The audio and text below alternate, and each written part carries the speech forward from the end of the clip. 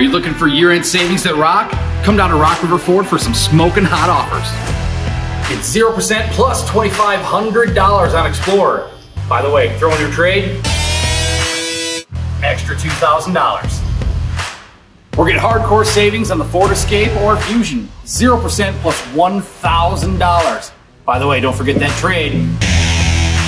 Extra $2,000. Here's a deal that'll melt your face. Up to $8,000 in savings on the Ford EcoSport. If saving money is your jam, you've got to come down and see us at the What Rocks 2020 new car and used car dealer, Rock River Ford.